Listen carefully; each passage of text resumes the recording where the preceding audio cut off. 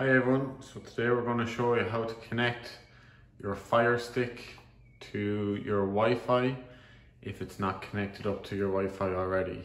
So when you turn on your Fire Stick, you should get something similar above to say that your home is currently unavailable because you are not connected to your internet. So you go right across here to the, to the gear on the right hand side. You go down into network.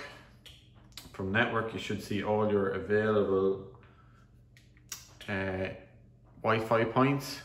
There you select the one that you want